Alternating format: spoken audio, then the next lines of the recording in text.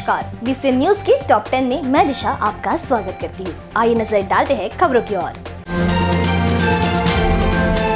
पिछले 24 घंटे में अड़तालीस हज़ार सात सौ छियासी नए कोरोना के मामले आए सामने। देश में अब तक लगी लगभग 33 करोड़ लोगों को वैक्सीन।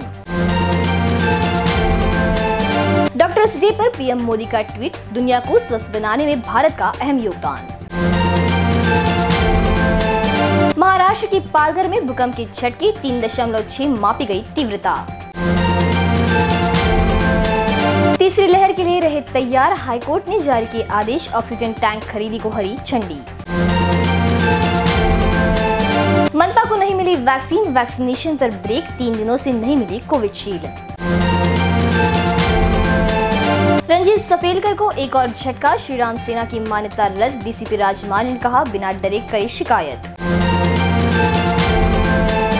गुरुवार से खुला पेंच नेशनल पार्क सख्त नियमों के साथ बफर जोन में कर सकेंगे सफारी।